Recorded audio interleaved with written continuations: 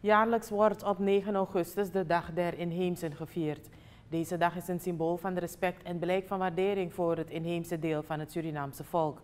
In verband met deze dag zijn er verschillende activiteiten ontplooid in een verfraaide palmentuin.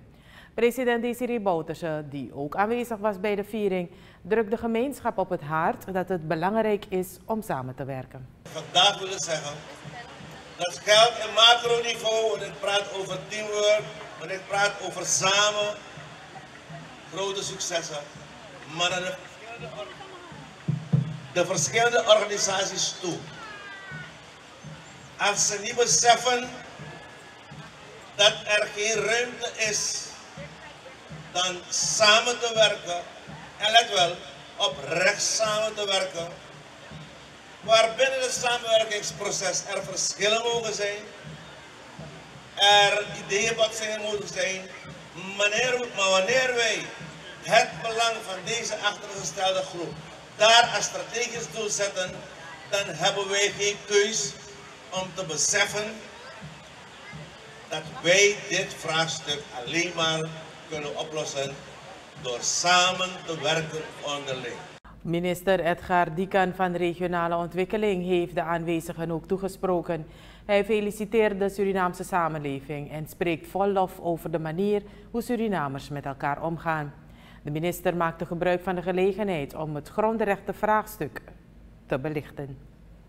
Die inheemse gemeenschap, we horen Chateau, in opdracht van president Lek Sabi, naar die dotie verleden jaar dat ook is een opdracht.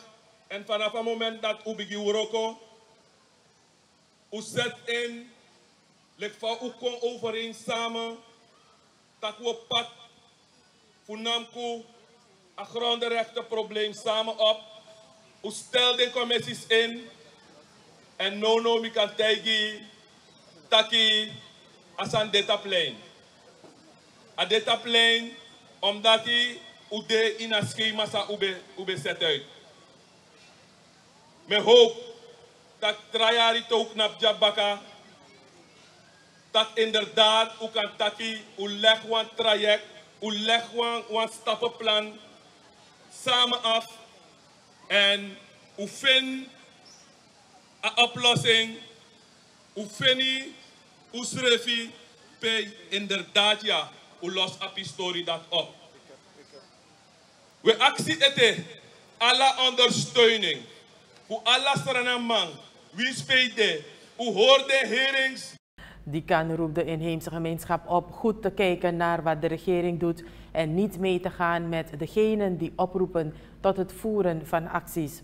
De bewindsman heeft het blijkbaar over de fiets die onlangs bij monden van de voorzitter haar ongenoegen heeft geuit over de gang van zaken.